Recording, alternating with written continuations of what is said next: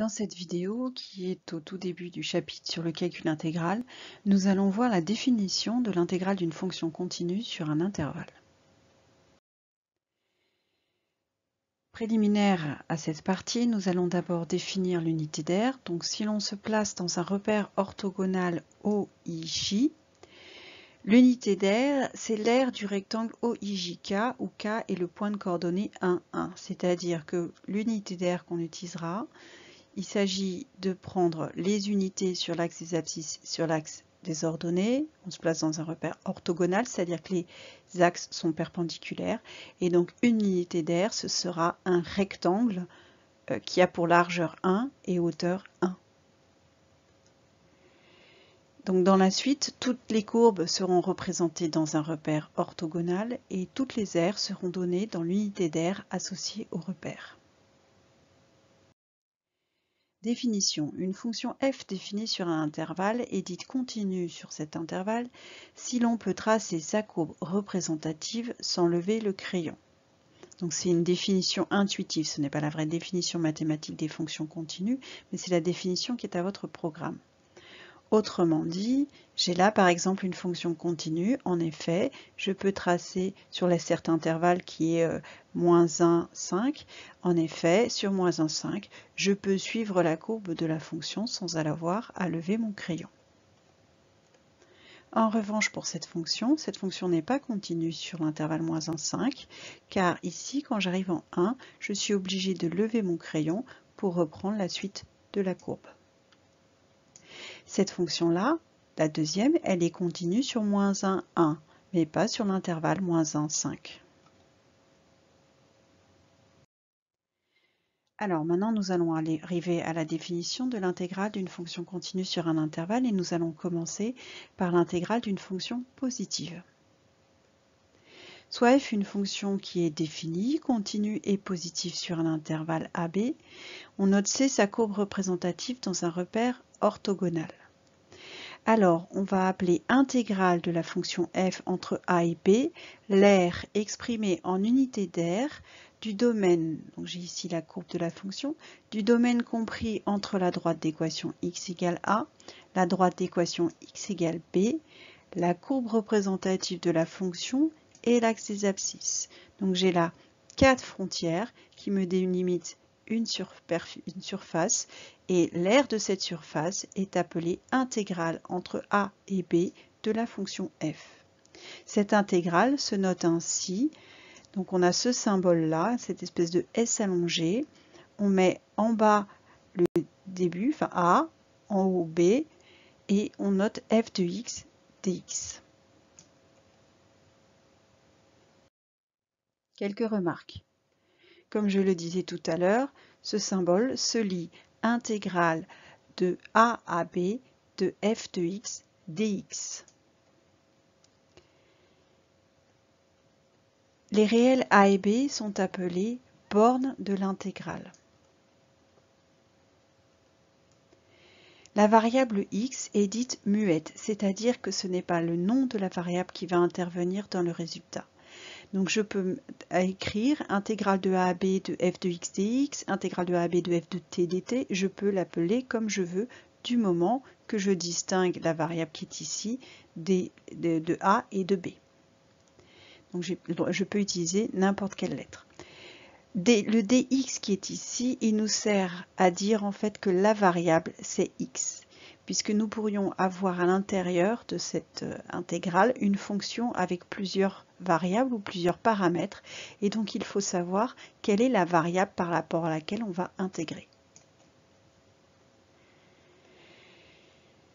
Et si je dois calculer l'intégrale entre a et a de f de x dx, cela revient à faire une l'aire sous la courbe entre a et a, donc j'ai l'aire d'un segment, et cela vaut 0. Exemple, calculons intégrale entre moins 1 et 4 de moins 0,4 fois x plus 3,6 dx. Donc il faut intégrer par rapport à x. Je reconnais ici moins 0,4x plus 3,6, une fonction affine, et donc y égale, la courbe d'équation y égale moins 0,4x plus 3,6 est celle d'une droite. Cette droite va passer par des points de coordonnées 4, 2 et moins 1, 4. En effet, si je remplace x par 4 ici, j'obtiens moins 0,4 fois 4 plus 3,6, ce qui me donne 2. Et si je remplace x par moins 1, j'obtiens moins 0,4 fois moins 1 plus 3,6, ce qui me donne 4. Donc, je peux tracer la courbe représentative de cette fonction, autrement dit la droite qui passe par le point D et le point C. J'ai appelé A et B les points de coordonnées moins 1, 0 et 4, euh, 0.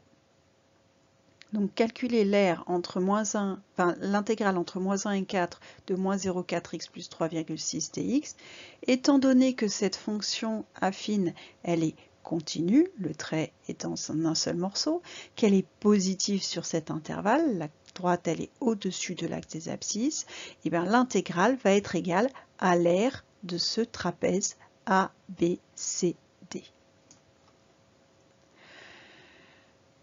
Or, je rappelle que l'aire d'un trapèze se calcule en faisant base moyenne fois hauteur divisée par 2, c'est-à-dire la grande base plus la petite base divisée par 2. J'ajoute les longueurs des deux côtés parallèles. Je calcule la moyenne, donc je divise par 2. Et je multiplie par la hauteur, c'est-à-dire la distance entre les deux côtés parallèles.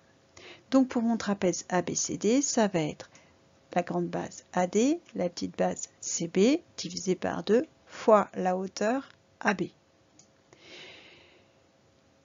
AD, la longueur AD, en fait, c'est la distance entre le point D et le point A. Et comme le point D a pour coordonnées, pour ordonner pardon, 4, la distance entre D et A vaut 4.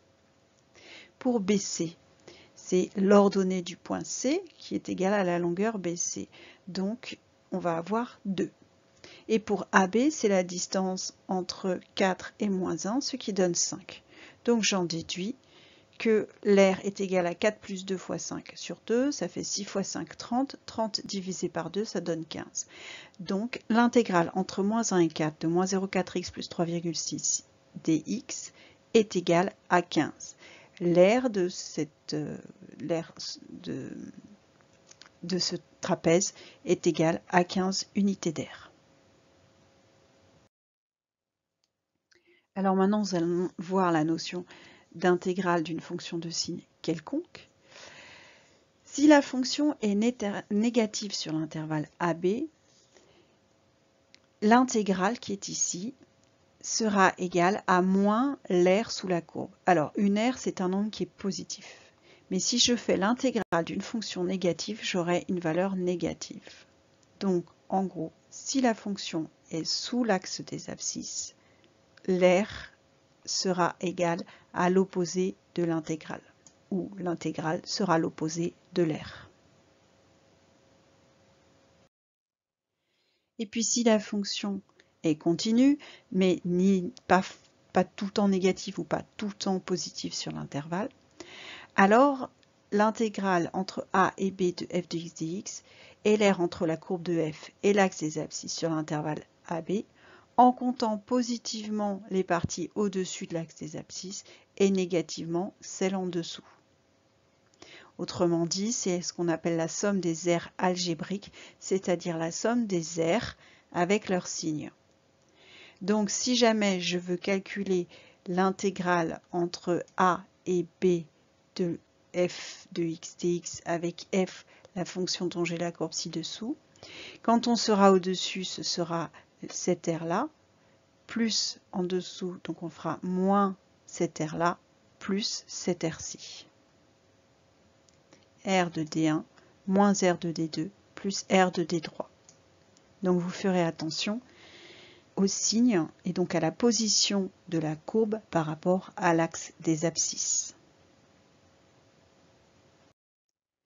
Un exemple, si je veux calculer l'intégrale entre moins pi et pi de la fonction sinus x dx.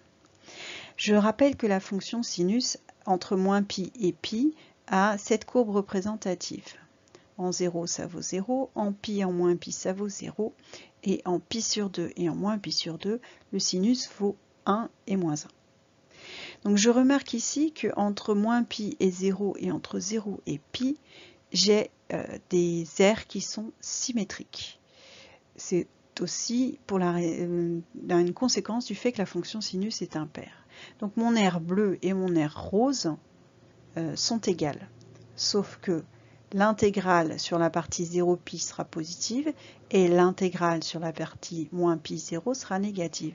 Par conséquent, quand je vais calculer l'intégrale entre moins pi et pi, ça va être égal à 0. Je ne sais pas encore calculer la superficie en rose et la superficie en bleu, mais je sais que si je calcule l'intégrale du sinus entre moins pi et pi, j'obtiens 0 parce que j'ai deux aires qui vont se compenser.